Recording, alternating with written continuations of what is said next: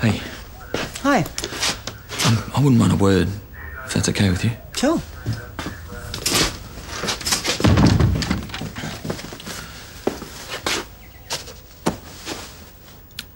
I've been seeing someone. And you want my blessing? Oh, no, God, no, not like that. Um, a counsellor. I've been seeing a counsellor. Oh, right. How's that? Hard. She doesn't let me get away with anything. Bit like you and that, I guess. It's a big thing to undertake. Yeah. I, I don't want your approval.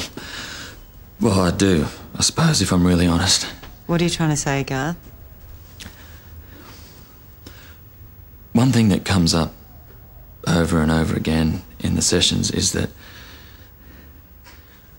Well, I I still have. Do I really want to hear Oh, no, this? please, let me finish. I've just gone over this so many times in my head.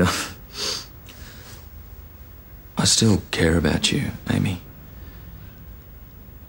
I never stopped. I don't want to push anything. Well, I'm not ready, really. If I'm honest. Um, all I can offer at the moment is that I be calm and professional around you, and well, I'm committed to that, if, if you'll accept that.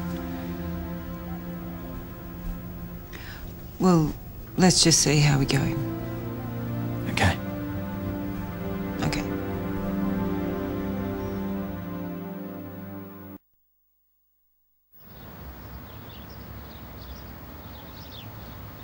Joss?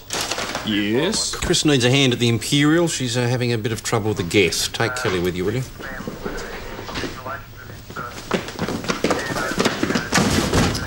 Too slow.